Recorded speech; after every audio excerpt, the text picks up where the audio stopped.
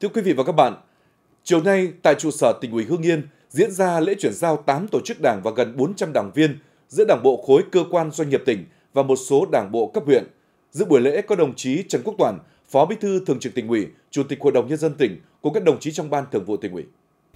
Hội nghị công bố các quyết định của Ban chấp hành Đảng bộ tỉnh Hưng Yên về việc chuyển hai tổ chức đảng và 83 đảng viên của hai doanh nghiệp nằm trong khu công nghiệp Phố đối A và Phố đối B trực thuộc Đảng bộ huyện Yên Mỹ về Đảng bộ khối cơ quan doanh nghiệp tỉnh, đó là Đảng bộ công ty thép Việt Ý và chi bộ công ty Cô Át Phong Phú. Đồng thời, chuyển giao 6 tổ chức đảng, hơn 300 đảng viên của một số doanh nghiệp ngoài khu công nghiệp từ Đảng bộ khối cơ quan doanh nghiệp tỉnh về các địa phương là Đảng bộ Tổng công ty May Hưng Yên, Đảng bộ công ty nhựa Hưng Yên, chi bộ công ty dược phẩm Hưng Yên, chi bộ công ty may Phú Khang chuyển về Đảng bộ thành phố Hưng Yên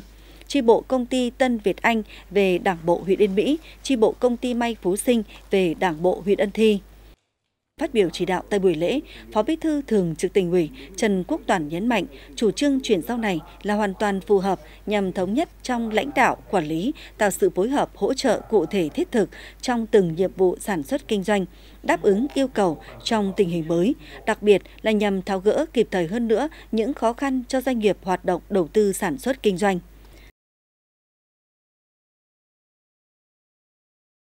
Tỉnh ủy Hưng Yên thì cũng mong các ờ, tổ chức đảng và sau khi ờ, chuyển về sinh hoạt tại Đảng bộ thành phố Nghiên cũng như Đảng bộ huyện Yên Mỹ, huyện Ân Thi và Đảng bộ các cơ quan doanh nghiệp tỉnh sẽ tiếp tục phát huy cái truyền thống đoàn kết của chúng ta đã vốn có và làm tốt công tác xây dựng đảng và nhiệm vụ chính trị được giao, nhất là nâng cao cái chất lượng hiệu quả hoạt động sản xuất kinh doanh của đơn vị. Ở đây chúng tôi cũng mong muốn là